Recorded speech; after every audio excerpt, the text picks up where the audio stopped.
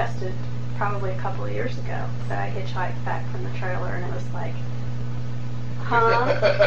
you gotta be kidding. That would not be a smart thing to do. There's no way. You know, I mean, just the fear that came up around that was a real indication to me that I wasn't to do that. But when the suggestion was made this time, it was like, oh yeah, why not?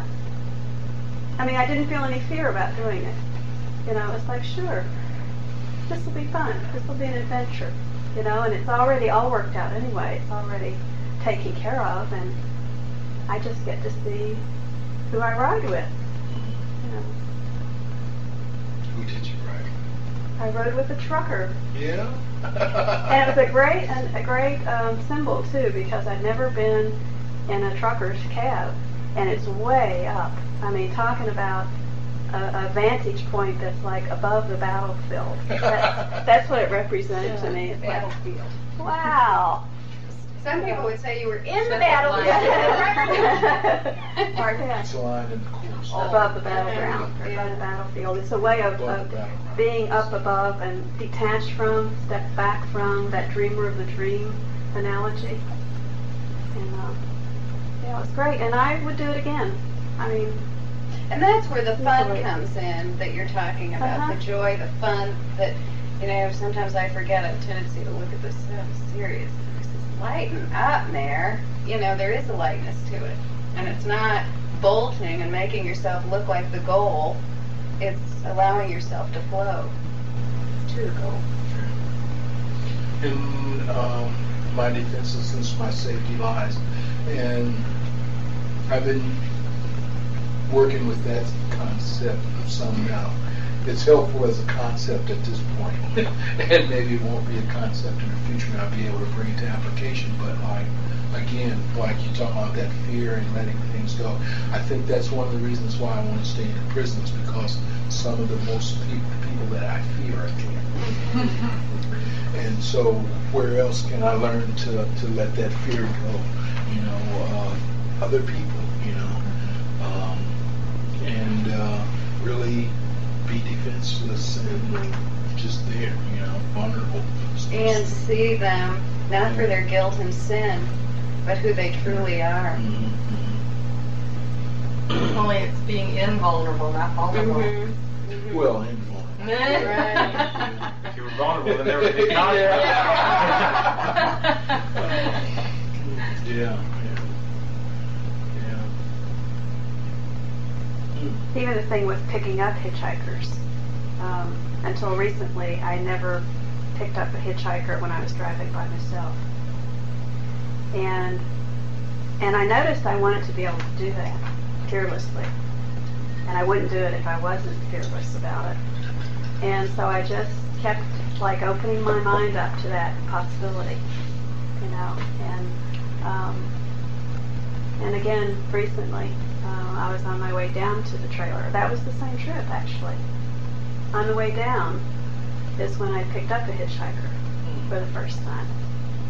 And it was a great holy encounter, and he was just immensely grateful. And it was just the easiest thing, and, and I felt real comfortable with picking him up. I mean, I didn't even question it. I didn't even like, do I or don't I? Is it safe? Isn't it safe? That didn't even come into it. It's just like I stopped. Yeah. You know, it's just an automatic thing. I just stopped.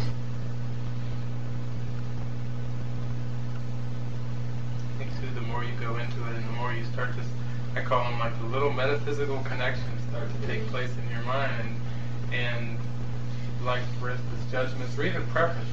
You know, everyone who walks this work earth has preferences. They have food preferences, they have sexual preferences, they have climate preferences, they have, I mean, Relationship. relationship preferences, clothing preferences. You know, you can just say, "Well, there's all these different things," and that's all part of that ordering and hierarchy of illusions, is what Jesus calls it. So initially, when you're starting, though, it's like, "Well, this is who I am. This is who I am as a person." And the more you start to make the metaphysical connections and you say, "I want this to loosen up. I want to question," you know, you don't go right for your major ones right off the bat you know you'll fall flat on your face. But but just I know initially when we would travel, even things like drink preferences, coffees and teas and different things like that. Some things it's like, well, what in the world does what I drink have to do with accepting the atonement? it just does not seem to be. I'm working on forgiving Aunt so and so and this and that, and what does coffee have to do with with forgiveness or atonement? But the more you get into the metaphysics and you start to see that it's more than just judging your brothers, but it's this whole scheme of of judgments. You know, if I am going into a restaurant and I have a favorite dessert, and I go in there and I'm all my my E on expectations down here is that they'll have that whatever cherry cheesecake or whatever, and I'm just going into that restaurant and I have my heart set on it, my E expectation, and they come and they say, "Oh, sir, we are so sorry, but we don't have the usual." After you say, "Bring the usual," we don't have it. It's, it has a little bit of a dip, you know, a little bit of a ooh, like a letdown. That's not peaceful. I mean, you know, you can see in the end how, how subtle it goes. If I have expectations, even about getting a dessert, and they don't have it, then you could take out your instrument for peace workshop, and you can. it may seem silly to do that on a about a dessert, but there aren't any large or small As long upsets. as you've got a box, you're fragmented. Yeah. Any more than the one box. Yeah. You're fragmented. And it's come up too as I've traveled and been taken into homes and, and traveled all over is that there's it seems as if there's there's all these different family systems and it's the way it seems that everybody has all these preferences and so you know the ego's way of, of being nice and fitting in is to wear the chameleon you know every home you go in put on a different costume and there's no peace in being the chameleon. Of, of walking on eggshells, of like, oh, of people pleasing to the max, you know, of like, oh, I don't want to upset this, oh, and then the next place this, and the next place this. The only true peace when you are seemingly in a lot of settings with a lot of different people is to stay with the Holy Spirit. We're back to that again. the one Just Make sure your hands are this far apart. This far apart. Right. Shoulder width apart. So it, it- what happens is you end up having, you know, the more you really train your mind, you end up into a real flow, and it's a real easygoing thing where things just aren't a big deal, you know. So they serve you this or they serve you that. Well, it's going to be a great holy encounter whether they serve you this or they serve you that. So you take a car or a train or a bus or you walk or you hitchhike or you know, there's a lot. It seems like there could be some gradations there of going in style, going in comfort. Hiking on a 90 degree day it sometimes can seem, huh? But it's like once you, if you're just looking for those holy encounters and you're really tuned in, then it's like all of that just like falls into the background.